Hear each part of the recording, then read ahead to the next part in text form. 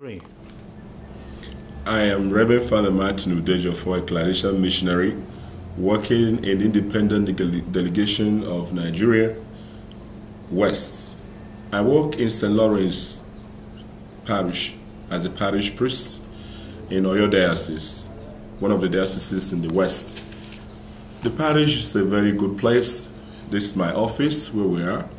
And from here, we do the pastoral work full of engagement. And we find time in order to put something down for families and for other theological themes in form of books.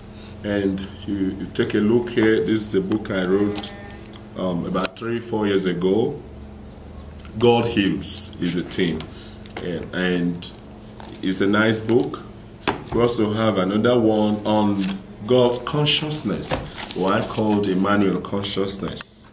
It's another one, and it's a manuscript. And then there's a great work I think we have just put up, three volumes of the work on marriage, on family life. My experience working in the parish is quite very enriching. The family is very crucial in our time to be given attention because with the family, the church can be rebuilt the individuals are born into the family. So if the family is well ordered, the society will be well ordered, the church will be well ordered. And family crisis, family displacement, family, um, all sort of things happening to family in these days. So the family draws attention. And if we neglect the family, we're neglecting a whole nation, a whole church.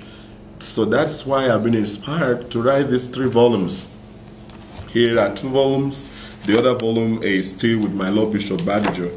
So it's on Marriage Companion Series is the title of the book. The book one speaks of understanding marriage. That's what we have here. Uh, it's still in manuscript. In this, I tried to explain um, to the couples and to the young people, particularly, what is marriage in preparation to get into marriage. What do they expect to know? What is the stand of the church? What is the biblical foundation of marriage? What are they expected to know about marriage before getting in? Because these days you just find people wake up in the morning, become a lawyer, become anything. So I think that there is need for preparation, there is need for catechesis, there is need for people to know what they want to do and and what they want to do, what does it take? So this volume one addresses such problem. And then we come to volume two, choosing a life partner.